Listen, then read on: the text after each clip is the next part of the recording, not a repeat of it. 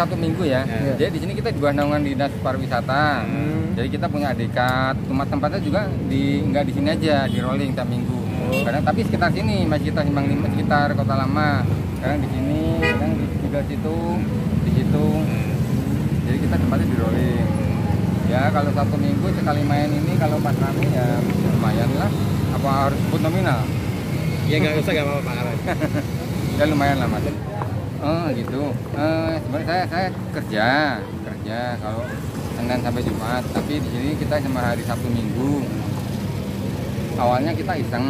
Misalkan eh, apa main telepon pengen kalau di rumah awalnya di rumah kan sering dikomplain tetangga. Ya, kalau ini ya. kan apa berbagi gitu loh kalau latihan latihan. Nah saya mah latihan di sini. Latihan di sini awalnya gitu terus kok nggak pakai ini? Hmm, hmm. awalnya tapi kok dilempari Wah, pengunjung. Gua berantakan kan terus nggak enak sama ini sama ininya perubahan tempat gitu loh Ah, iya. awalnya kan kita nggak ngamen dong nah tapi begitu Ini eh, atas izin Dinas Pariwisata Pemerintah Kota Semarang. Jadi di sini yang pemain itu dari Kota Lama dan enam musisi. Mungkin kita setiap kali mau tampil harus izin. Hmm. Itu enam musisi harus eh, apa namanya sudah sesuai izinnya gitu. Ya.